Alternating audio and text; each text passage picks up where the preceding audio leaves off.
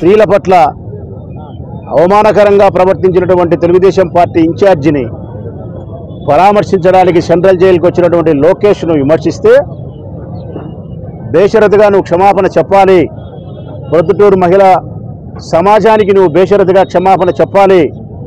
ప్రొద్దుటూరు పొదుపు సంఘాలకు సంబంధించిన మహిళల పట్ల నీ తెలుగుదేశం పార్టీ ఇన్ఛార్జి అవమానకరంగా ప్రవర్తించినారు. అందుకోసం తెలుగుదేశం పార్టీ ఇన్ఛార్జ్ ప్రవీణ్ కుమార్ రెడ్డిని ఓదార్చడానికో పరామర్శించడానికో నీవు రావడం తప్పు. ఇందుకు బేషరతుగా క్షమాపణ చెప్పాలి అని మేము డిమాండ్ చేస్తే విమర్శ చేస్తే నిన్న తెలుగుదేశం పార్టీ వాళ్ళు మాట్లాడుతున్నారు పొద్దుటూరులో లింగారెడ్డి గారు.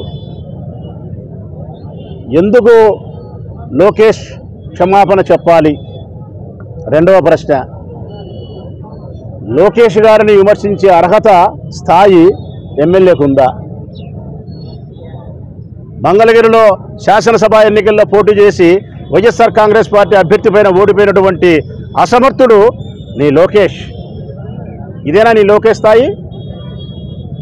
రెండవది నీ లోకేష్ విమర్శించాలంటే నేను కూడా దొడ్డిదారున మంత్రి కావాలనా? శాసనసభ ఎన్నికల్లో గెలిచి మంత్రి కావలసిన మనుషులు ఎవరైనా శాసనసభ ఎన్నికల్లో ఓడిపోయి దొడ్డిదారిన ఎమ్మెల్సీ ఎమ్మెల్సీ తర్వాత మంత్రి అయినాడు.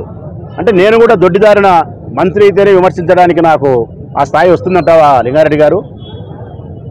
లేక నేను కూడా లండన్కు పోయి అమెరికాకు పోయి పది మంది అమ్మాయిలతో స్విమ్మింగ్ పూల్లో ఈత కొట్టి జల క్రీడలాడి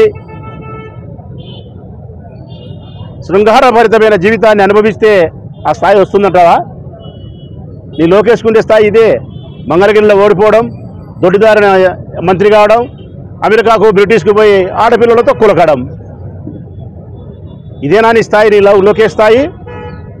ఇట్టి అసమర్థుణ్ణి ఇట్టి అవివేకిని ఇట్టి పనికిమాలిన మనిషిని విమర్శించడానికి రెండు మార్లు ఎన్నిక కాబడిన నాకు స్థాయి లేదంటావా నీవు?